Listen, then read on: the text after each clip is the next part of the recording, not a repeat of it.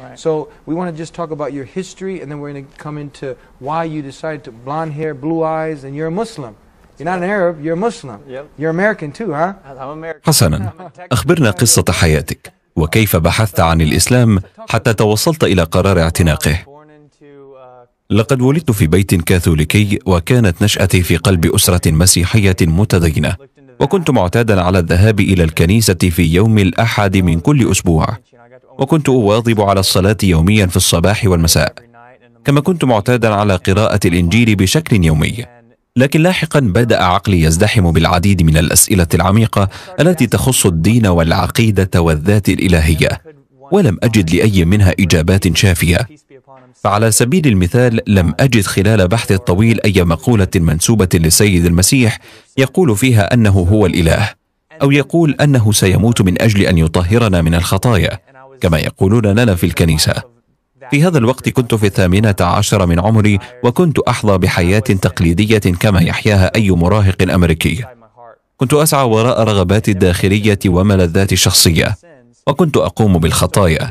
ولم يكن منطقيا بالنسبة لي كيف أن الإله قد مات من أجل التكفير عن خطاياي لم يكن هذا منطقيا. ومع أني كنت مسيحيا إلا أنني كنت أشعر من داخلي أن هناك إله واحد لا شريك له.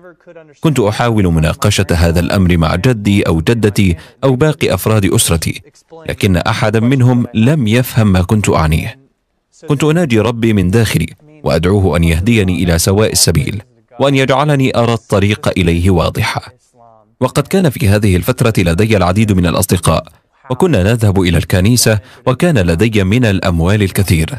كان لدي بيت أملكه لكن لم أشعر بالسعادة قط. لم أنعم بالهدوء الداخلي أو السلام النفسي في قلبي.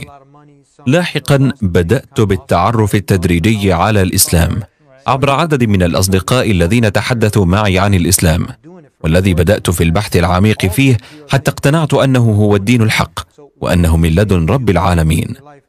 وأنا الآن أحمد الله تعالى أن هداني إلى دينه الحنيف.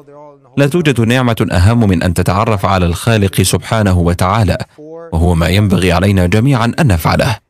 وأنا لا أعلم كيف يعبد البعض السيد المسيح أو غيره. أنا أحب سيدنا عيسى عليه السلام فهو من أعظم الأنبياء. لكنه في النهاية مخلوق وليس إله.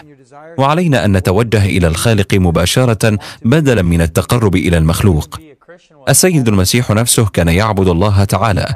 كذلك باقي الأنبياء والرسل مثل سيدنا آدم سيدنا إبراهيم سيدنا موسى. وباقي الأنبياء فهم جميعا عبدوا الله تعالى لأنه الخالق وهو نفسه الإله الذي نعبده نحن المسلمون فحينما كان سيدنا عيسى يمشي في الصحراء وجاء له الشيطان محاولا إغواءه هل هذا منطقي؟ كيف يقوم الشيطان بمحاولة إغواء الإله؟ وهل يقوم الإله بالمشي في الصحراء؟ كل هذا يؤكد أن السيد المسيح هو مخلوق وليس إله نفس الأمر مع سيدنا موسى والذي قام باتباع أوامر الخالق عز وجل وهي ذاتها الأوامر التي جاءت لنا كمسلمين. حسنا هل أحسست بتغير ما بعد أن صرت مسلما؟ هناك حتما التغير الداخلي لكن من الخارج أنا لا زلت كما أنا مواطن أمريكي من تكساس. أحب صيد الأسماك والقهوة لكن من الداخل تغيرت كثيرا وصرت شخصا مختلفا والأهم أنني صرت أنعم بالهدوء الشديد والسلام النفسي العميق.